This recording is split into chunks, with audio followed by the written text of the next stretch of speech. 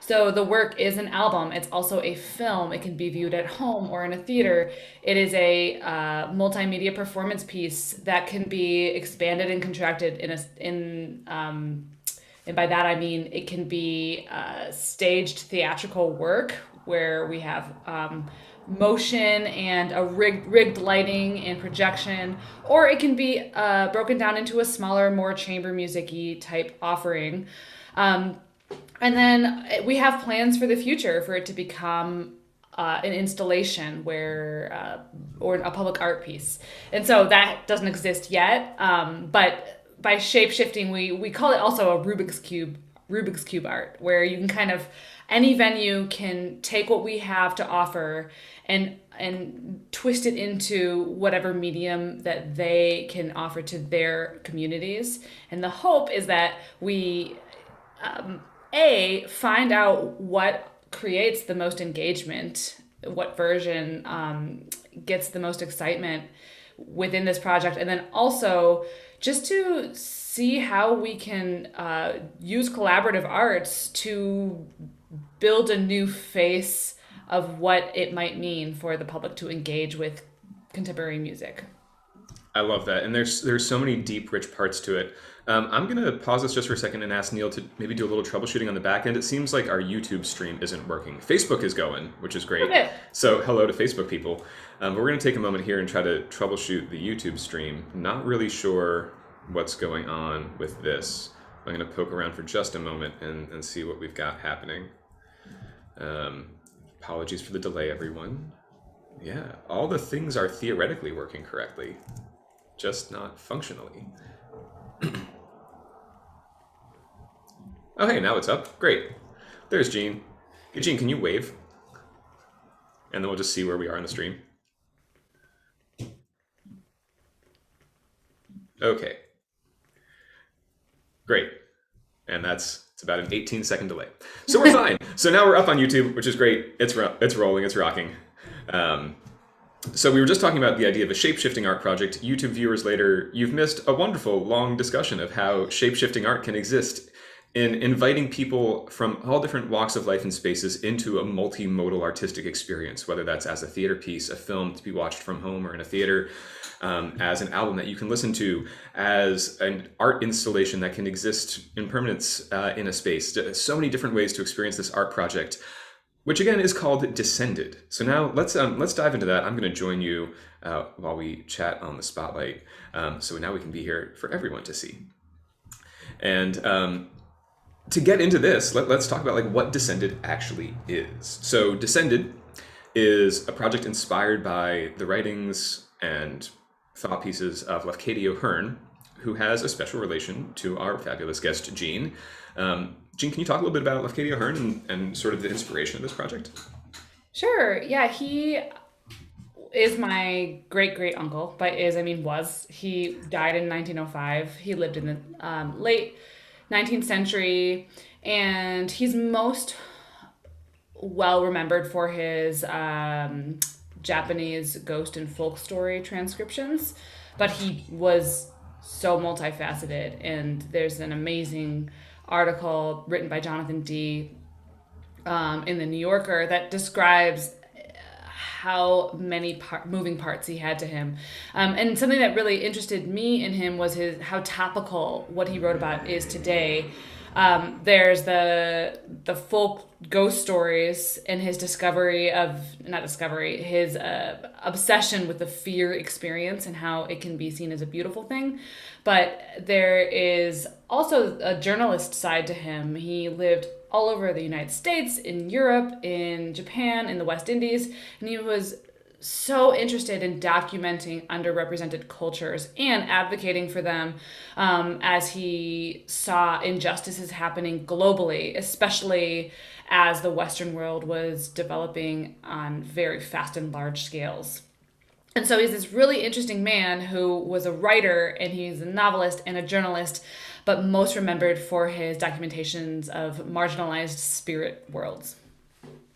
And it's it's amazing reading some of the pieces. Um, his writing style is super distinct. It it reminds me a little bit of like thinking of the the turn of the century and, and sort of the, the authors who were exploring like short fiction in that realm. So Poe was about 100 years earlier, 75 years earlier. But there's definitely like a common spirit in their voice and the language that they use and the way that they have these beautifully floral descriptions of fascinatingly spoopy work um, that just draws you in in this really in, in, enticing way. Um, we've got the New Yorker, New Yorker article. We'll throw that in chat. Um, also feels cool, kind of talking about this idea of marginalized communities, how present it feels, and it really drives through the work.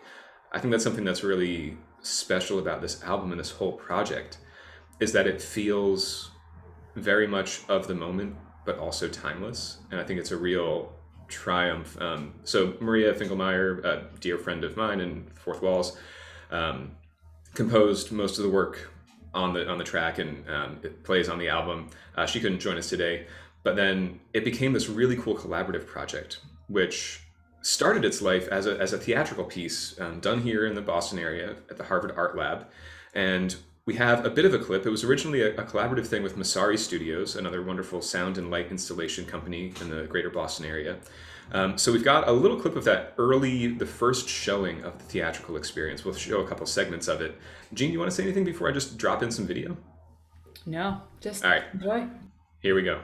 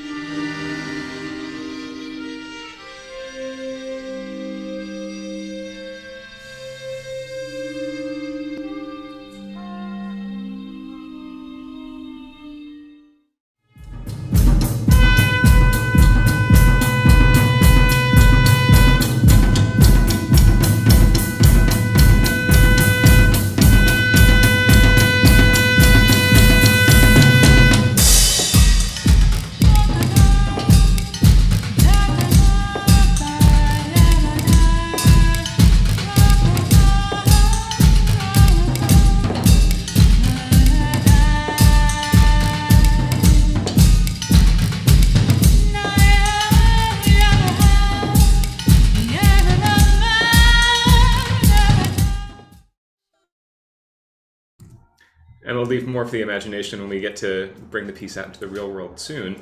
Um, speaking of which, that was done in late 2019, and as all of us know, things changed shortly thereafter in the world. So, had grand plans for touring, being a theatrical production, further development, um, and then everything had to shift, and Descended found new life as this incredible art film, which has had showings and won some great awards internationally at various film festivals. Um, Jean, I would love for you to talk a little bit about the process of, of transitioning from knowing that this was a shape-shifting art project from the beginning, but going from a theatrical expression into the the film world. Um, how that all felt, what was it like? And how, like, as a musician, have you done stuff in film before?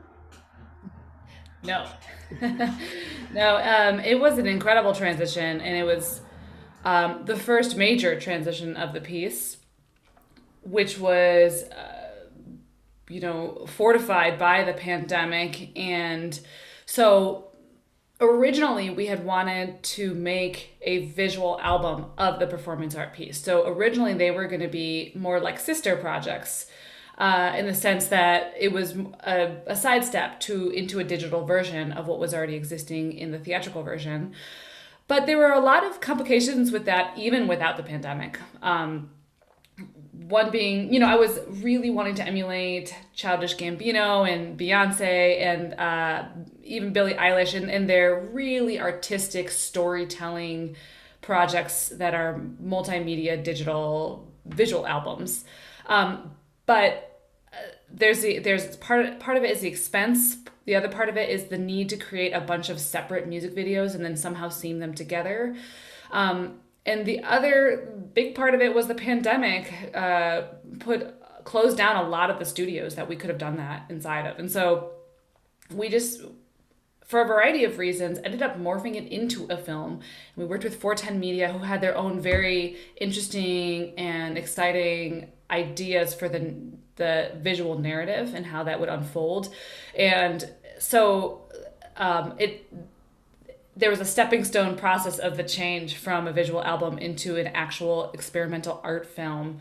Um, and and it, none of it was planned out. It was more of a series of happy accidents that occurred. One being the pandemic, the other being some natural hurdles built into the idea of a visual album, and then the other being new collaborators, new ideas. How do you edit, uh, undo, redo visions that you might have when you have new people who are coming with their own perspectives. I love that talk of the collaborative process of like iterative work, iterations, but then also just understand that, yeah, it can all be scrapped and changed. It's so cool to see it shift. And something that I, I really am excited about about this whole project is that it's not one thing. It is so many different expressions that all have the same roots. It's almost like we hear about forests being connected by the, the mycological underground things that connect the trees to trees and this whole huge mushroom root system that exists in the world, that's there in Lafcadio O'Hearn's stories and his biography. Um, and yet, each of these beautiful trees of the project, the live piece, the film, the album, is so distinct in its own way. Um, I also want to give a shout out 410 Media. I know them well from doing a lot of like new music art videos. And they're sort of like music videos with contemporary music composition that are beautifully done, really cleverly edited. And I'm just kind of ignorant to the rest of their work, but like this is the first big narrative piece I've seen from them, and it's so stunning. Um, so I kind of want to kick it off. We, we've got a few clips from the art film. We'll have a link to the full thing um, also in chat. I encourage everyone to watch it. It's won some big awards for like best music, best new film, uh, things of the month at film festivals in Toronto, across the states, some stuff in Europe. Yeah, right? yeah, lots in Europe. There is so many laurels. Just like if you look at the poster, it's just it looks like a set of Grecian emperor or Roman emperors with just like laurels and stars and awards all over the place. Uh, it's it's super exciting. So um, I kind of want to show something that's a little bit of a soft intro, and I think we're going to show just a very pretty part of it first. Uh, and this is going to be Muses, Jean, just so you know what we're getting into first, because I think it's a little bit of a, a, different way. And then I want to talk about um, the character of the film and the interesting way that that evolved. So here's a beautiful first couple images from the film, just so you can get a little bit of the, the storytelling visual language, and then we'll, we'll dig into some other content from it.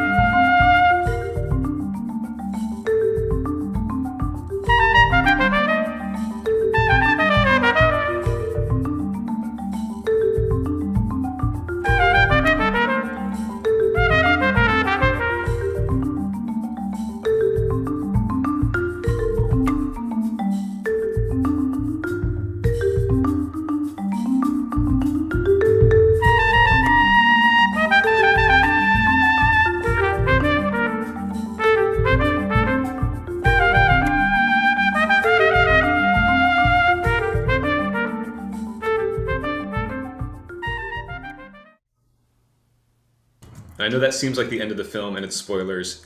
It's it's not. It's okay. It's it's a multifaceted work. You're not seeing just like, oh, there's that moment with the tiny box. I know how it ends. That's the rosebud moment. It's not. Um, but I think I, I just love playing that clip because it's so visually striking. It shows the breadth of the film that like there are other actors, there are characters, there's work, there's nature involved. And that was filmed at Walden Pond, right? Out here in Massachusetts. Yeah. yeah Uh, no, it was actually filmed um, in uh, New Jersey. Oh, that, That was the New Jersey set. Okay. Yes, I forget the name of the of the little pond slash lake, but it was filmed just over the border of Philly. Aha, great. Yeah, so this project has spanned the country from where, where Jean is in Wisconsin. Uh, we recorded the album in our recording artist John Escobar's house last August in Watertown here. That was a whole trip. We'll talk about that in a moment. Y'all filmed some stuff up here. You filmed stuff in New Jersey. You had a giant pool. Um, so there's there's some really cool work in this album coming through. The thing that I think is really interesting, thinking about the narrative of the film, digging into Lafcadio O'Hearn's love of the paranormal and the ghost story world, and drawn from these marginalized communities, is how sort of the genre feel of the film came, came about. So, how what would you describe like the short film if you were to if you had to put it in a genre box? Where would you stick it? Ooh. Um. So what we have thrown around the idea of it being an art house horror, because it is a transition film about the otherworldly and the post life experience, if you want to interpret it that way. I And I think I think it. there's some really strong visual stuff with that. So let's let's just jump right now. I'm going to share Mujina mm-hmm. now um, because that starts to bring in that flavor.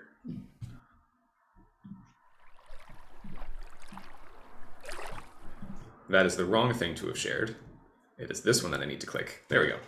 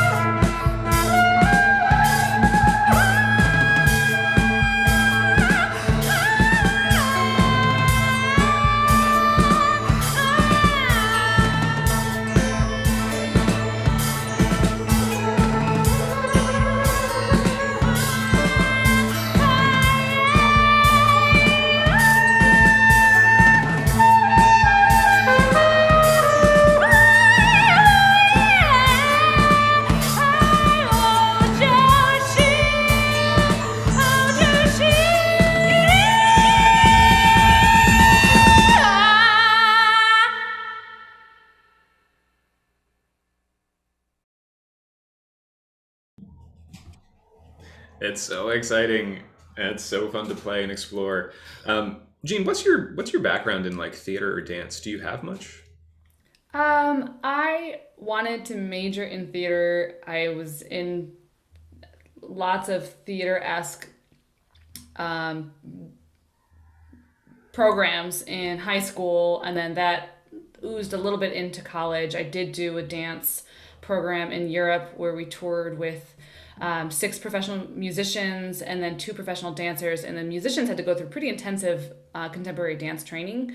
So I, I'm not a dancer, nor am I an actress, but I have, you know, um, built some of those skills over a long period of time in small ways.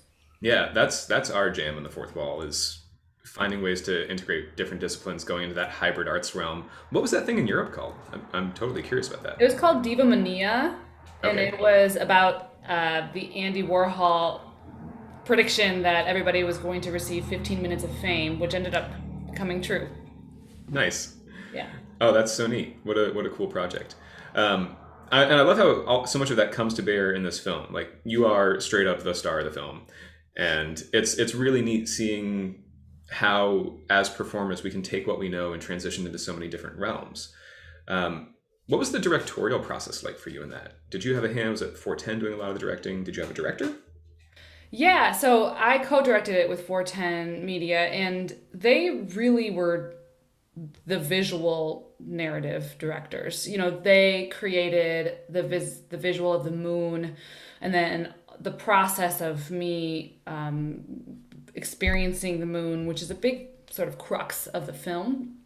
And then my directorship was more like big picture visionary. This is what I want the outcome goal of the project to be. And uh, I had everything to do with the Lafcadio Hearn references, which are peppered. I mean, there are dozens of Lafcadio Hearn moments and references dotted and speckled throughout the entire film. And so there's really two ways to watch the film. There's like the more abstract art experience of what is this transition about and what does it mean to me. But then there's also, if you're a Lafcadio Hearn reader and you know his content, you'll see threads and themes and symbols from his work and it's that's what i loved about the childish gambino this is america like learning and finding those symbols and then having that be its own tangent and, and trying to figure out what it means in the context of the film and so i was really about that symbolism as well as the big picture um, and they were more of the, the, the visual visionary um, builders that's super cool. And just being able to find inspiration in, in what some really brilliant artists are doing in, in popular music right now. Like you mentioned Queen Bey and um, yeah, Childish Gambino stuff. And there, there's such an interesting precedent that's coming from popular music and the hip hop rap side of the world that is like teaching us in contemporary art music where we need to be and how we need to step up. I think of like Kendrick Lamar's albums and just creating these extraordinary operatic narratives that run through the work and then like the visual language of these these visual albums coming out from Beyonce and Childish Gambino and the like um, it's so cool seeing and get seeing how how you're playing with that and, and being inspired by it and then and putting your own spin and voice on it so I think I'd like to show the Descended trailer just to give people the full teaser. It touches on more of that visual language that 410 brought to the table. And then um, as, we, as we play the trailer, we'll put the link to the full film on Jean's website uh, up in the chats. So I encourage everyone to, to seriously watch it. It's fabulous. And um, here's the trailer, just to give you a little teaser.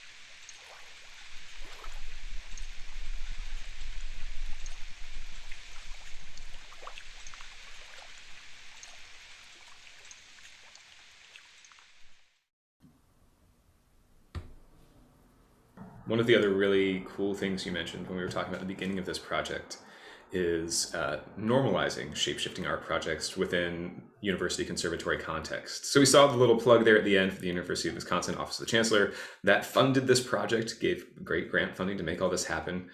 Um, as as the fourth wall, we do a fair amount of university work, and we love trying to bring departments together and bring different ideas together. And it's so exciting to see that you are you are pushing the same thing in your institutions and further in more institutions to say, hey, this is it's all connected. It's all our work. What's the reception been like at your school um, amongst the administration and your staff? Like have you gotten any feedback from your colleagues and peers? Yeah i um i have yet to in a very forward facing way show it to everybody but I've alluded to it and we've done a few um, shout outs on our media pages. But um, from what I've received so far, it's just the utmost support. We really are trying to actively change our culture and, um, I mean, not change, preserve the things that we feel are dear and true to what it is that we teach, but alter our art with the changing world. And so I've just received, I'm so happy and grateful that people seem really excited about this work at UW Madison because there was a fear of, oh, we have a university school of music. Could there be pushback because I'm not putting out a trumpet album with the stock standards? And they've been so excited for me and supportive. And I, I'm so grateful for the community that I'm in. That's really cool. And in so many ways this this is just it's the new frontier and it's it's great to see the university embracing that and supporting it financially. And then i don't know i'm just i'm so excited to like see you or get maybe get to be a part of the live show doing it there. Um, you know we'll see how that project evolves and, and finds its new life after the original of you know late 2019 coming through this album creation process the film release in 2021 was it only this year that we released the film? Yep. yeah. I think the first showing was like in january right? Through the friends of chamber music troy Yeah. yeah, cool. Um, so that brings us to the most recent release, which was last week's release on September 25th of the album Descended. Um, that is being supported by Bright Shiny Things, is the record label being produced around. We've got links for where you can buy the album, where you can download it. Um, I think for a lot of us, at least uh, John Escobar, who's the recording artist, a wonderful recording artist here in Boston, teaches at Berklee, and does a lot of the recording stuff for uh, From the Top he he and I both kind of agree. It's like that that is one of the projects of 2020, the thing that marks the pandemic for us. We all gathered. Jean flew in from Wisconsin. We were taking all sorts of like COVID test precautions, figuring out how to make it work. And just for a week, we gathered in John's house, moved all the furniture out of his living room. I set up drums with like towels and blankets on stands behind to create a an augmented sound space that wasn't super reverberant. Maria had her marimba set up in the living room as well. We had the basement set up as like a sub studio space. Uh, we just spent a week recording this album, and you heard you've you've been hearing bits of that music in these various clips. Um, one of the brilliant things that I think that came of it, just kind of still staying in the film world, is how Maria took that album content and completely remixed it for the film. Uh, like I was saying earlier, it's it's all this whole project Descended is all connected by this mycological layer of Lafcadio Hearn's stories and work. Um, but every tree is distinct in it. The album is a completely different project than the film, which will be completely different than the theatrical piece. And within the film, you'll hear these elements of the album, but even in the trailer there, that's a combination of at least two different tracks. The toy piano stuff and the drums that I was playing are like those are not those were not recorded together as the same thing, but it works, and it's a matter of playing this puzzle game. And at some point, we'll be able to have Maria on a stream because uh, her creative process is just off the wall, brilliant all the time. Um, and we'll get to talk to her about that. But uh, Jean, was there anything that like stands out to you from the album creation process, recording of it? Yeah, well, there's the the trope of all right, we have this hurdle. How do we deal with it? You know, ideally we would have been in a studio playing music together. Yeah. Um, I had never met Greg. We so the first time Greg and I played together, and it was just felt it was just great. And so I think, um, just goes back to speaking highly about Maria Finkelmeier and just whatever situation you have, whether it's a nice studio or a living room with down blankets and new people, um, the, your asset are the humans. And so we had this amazing vibe during that week and we had so much fun and it was a strong click during a, what could have been a really stressful week preparing an album and, and playing it with new people for the first time because we literally didn't have the option to rehearse because of the, the pandemic and we didn't have the option to play together because of the pandemic um, but it, I think the the energy and the focus and the vibe was really really good. And from what I know about my favorite albums in in history, that that is a sort of a must for uh, to to create something that resonates with other people is like the the natural organic resonance within the artists themselves. And so that's what I mostly remember about the album. Yeah, it was it was super cool. Like for most of that week, I was just sitting alone behind the drums upstairs in the living room with my mask on there was no one around. Everyone was in the basement, in the studio, like in the in the recording room. Um, but I never felt disconnected from the project. And the handful of moments that we were able to be in the same place, um, the album has some really beautifully crafted improvisatory work in it, where the structures are in place for us to explore soundscapes and make things together that are emotive and evocative and immediate. Um, stuff that we were doing with like uh, melodica, accordion, trumpet, voice, and doing some voice sounds together. Just some of these um, sort of extra textures of like we all had a jumble of bells or seed pods and just like crumpling stuff, and trying to feel the moment.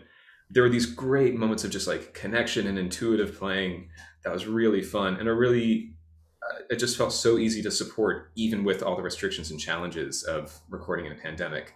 Um, I'm going to invite Neil to jump on because I kind of uh, he hasn't been in the conversation yet, but I, I sprung the album on him on our way back from a gig on the 25th. We were up in New Hampshire and on the drive back, I was like, "Hey, uh, we just did this thing. I'm heading to the release party. Do you want to listen to it?" So, um, Neil, you had some really wonderful insights and reactions to your first listen. Would you be willing to share a little bit of that, of just like what, how the project, hearing the album first, not knowing about the art film, not knowing about with Lafcadio Hearn's stories or seeing any of the theatrical work, like, what were some of your first impressions of of what this thing is? Yeah, I mean, certainly uh, listening to it in the car from a CD, just like I don't know, it, it's perhaps an imperfect impression, and yet all we have these days are the imperfect impressions of whatever is the ideal. And what's great about this project is that, you know, again, like no one iteration of the project is the whole picture. You're not ever going to get the whole thing. So we we have the world building that goes into the album, the world building that goes into the film, the world building that uh, has gone into a version of a staged production and may play out further in, in the future um, but all part of this like multiverse. And it was it, it seemed pretty clear to me within the context of that album that like there is a narrative. I don't need to know what it is to hear that there's something there's something happening underneath. And what really struck me was how much came out of so few people playing. So of course you know there is the potential to orchestrate this entire thing and have 90 people on stage creating all the sounds to create this multiverse. And yet this was created by just a few people a few multi-dimensional uh, musicians performers who bring more than just one character or one genre or one skill to play. So actually i have a question for you Jean about that since you are uh, playing trumpet and singing and um, involved in certainly the the direction of the the film. Um, but like even while you're playing trumpet, there are just a lot of different colors and a lot of different approaches to trumpet playing, to brass playing, um, as well as vocally. Like it's not just one one kind of approach and I wonder how much of that you're cognizant of the different characters you're playing, the different characters within this world. And um, yeah, like, do you have a, a, different approach to singing than you have to trumpet playing, um, at least within the context of this piece? Yeah, what are your thoughts about that, the different characters? Great question. Um, I, as you know, I brass, our wheelhouse is the fact that we can work with so many colors, like percussion. You know, we the dexterity of a, of a woodwind player is there and then and also string player and pianists pianists can produce all the harmonies and string players have double stops and you know other than multiphonics i have my one sound but even within a single crescendo on a single pitch you shift colors because of the the physics of the instrument so i always am thinking about colors um, in the sound. And and my interpretation of the characters was that um, because uh, brass playing is so vocal. Instead of vibrating here, you're vibrating here, but the whole mechanism of support and sound production is basically the same. Um, it, I feel like it's like this non-verbal voice. So, sort of the spirit or the essence of Lafcadio Hearn's lineage inside of me, and also his writing that's inspired me as a, a creator um, was embedded into the trumpet sound because he's not verbally coming out of me, but he is sonically coming out of me in, in a very vocal way.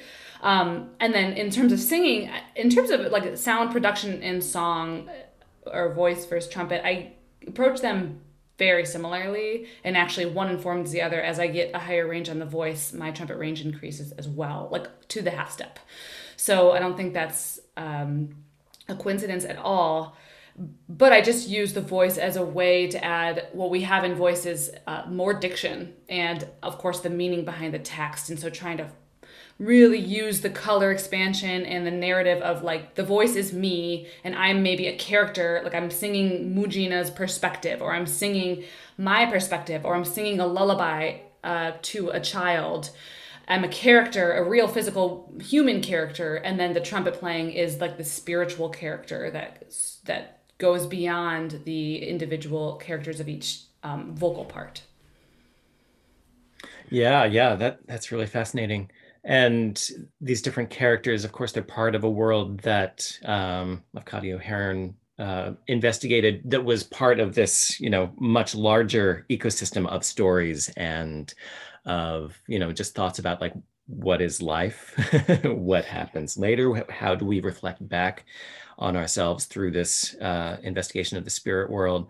Um, I wonder, you know, because this project is connected to you, you are in part the legacy of this this family member who was also doing work in the public sphere. Like, um, what what has working on this project sort of revealed about you? Have you made some personal discoveries in the process of making public this other work that is so intertwined with the public and private and artistic and cultural?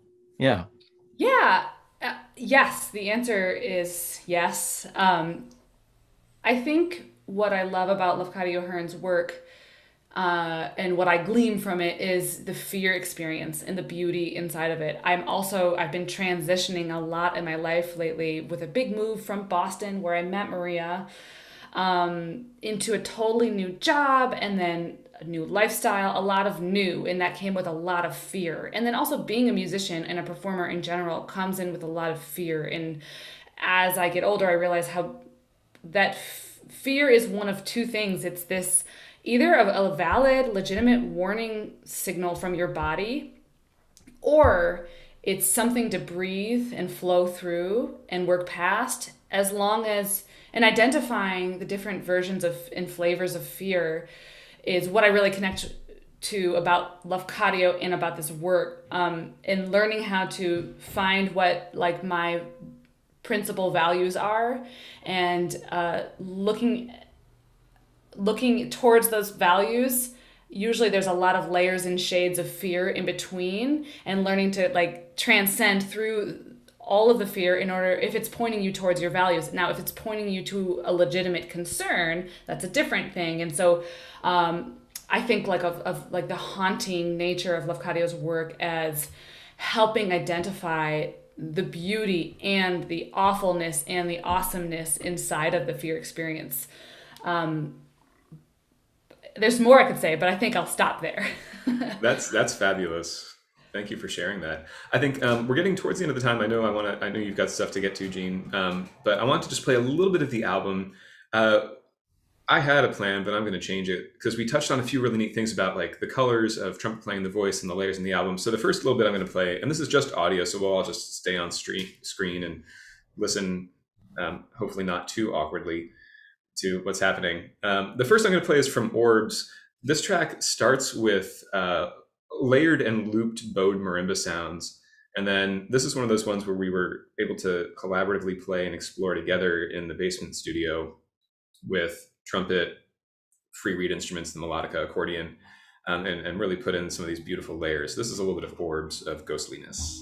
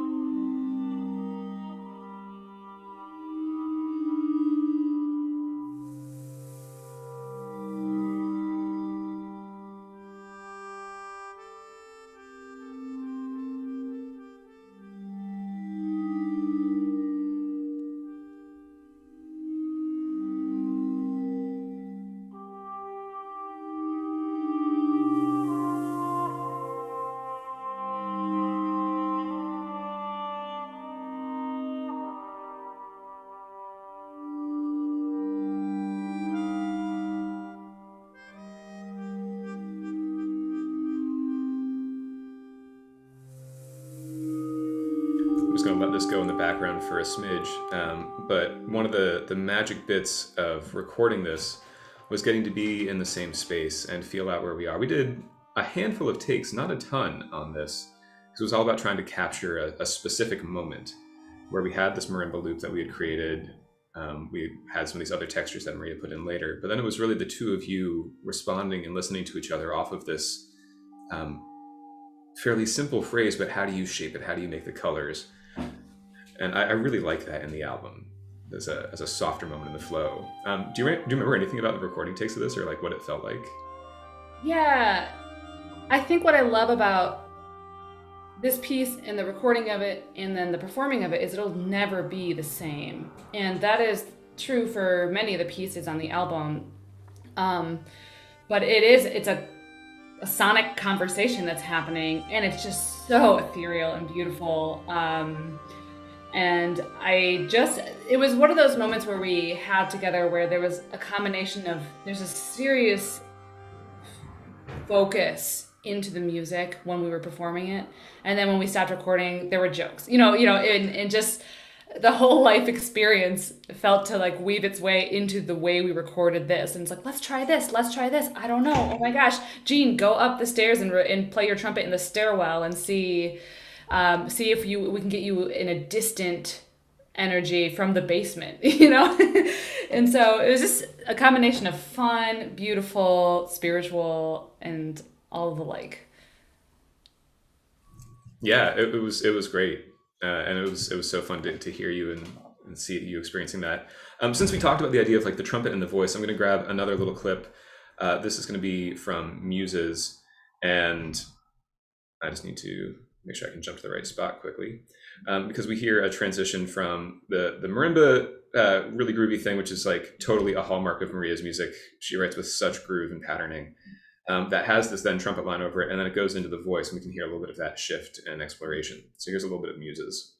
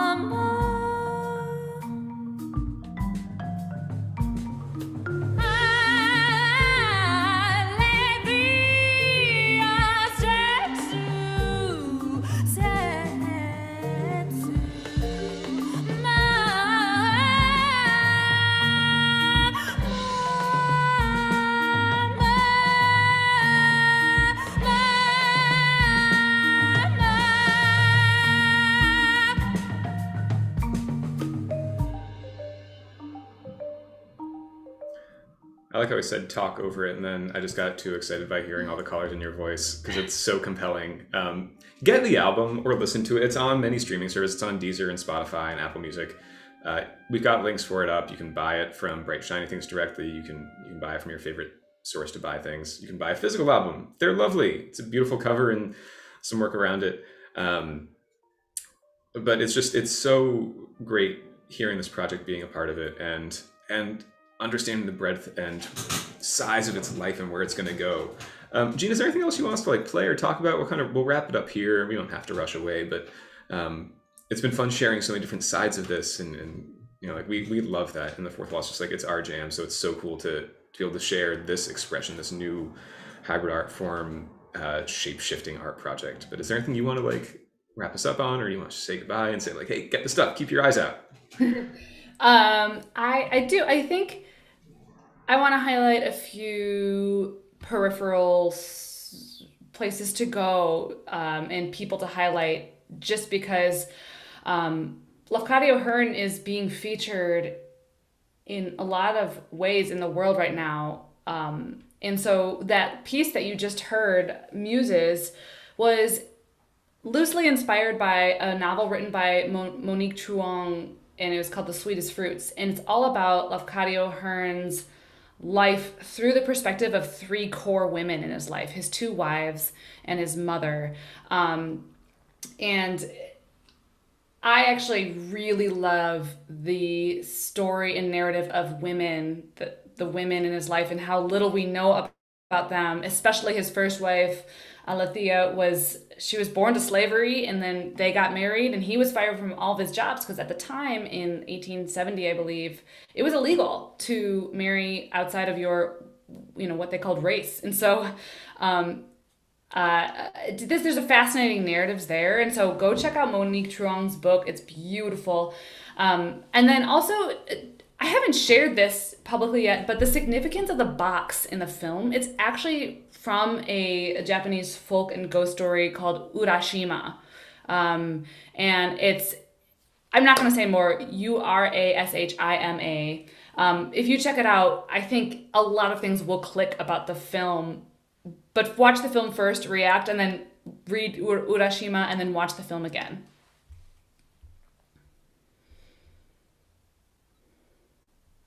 And we'll put some of those links. We are just doing, I think Neil and I are both doing frantic Googling of trying to, to connect that because um, it's not just for you, dear viewers and watchers. We do these streams for us. It's they're often self-serving because like I want to look these things up, and now I can go back in the comments in the chat and find these links because um, I'm excited to to learn about them.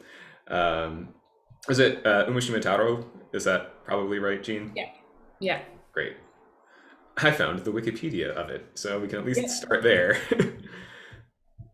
and um, yeah, I, one of the coolest things, like as we've been talking more about creative process uh, on Saturday showtimes, is bringing in our friends who have distinct and different approaches and inspirations. And it's been so fun talking to you today about yours and this project and, and where it comes from and and where it's going. Um, I think the theatrical production of it. Hopefully, we're looking at is it spring or fall of twenty two we're looking at producing it and workshopping it in the spring and uh, make bringing it to a new level what currently exists to a new level. And then taking it on the road as soon as we can. Yeah. Yeah. So uh, as we often say everyone please stay healthy stay safe get yourself your protections as you can keep loving yourself and each other. Um, this is we're gonna we're gonna wrap it up here. Uh, check out the album. It's called Descended. You can find the work on Jean Laurenz's website. You can find it on MF Dynamics website. That's Maria's website. Bright shiny things. Check out the art film by 410 Media. Um, so many great ways to engage with this work. And you can just be in touch. Reach out to artists if you're watching this. Reach out to Jean. Reach out to Maria. Just say, hey, I saw your thing. It was super cool. I want to see it more. Um, how can I produce it in my area? Those of you in the Chicago area, maybe who might be watching this, Neil's relatives who would be into the film. FYI, Spencer. Just calling it out directly. Um, look, we know who we know our audience. so uh, thank you all so much. We're gonna end the stream here. Check out these albums. Check out Descended. Jean, thank you so much for joining us. Um, everyone, have a great month. We'll see you in November.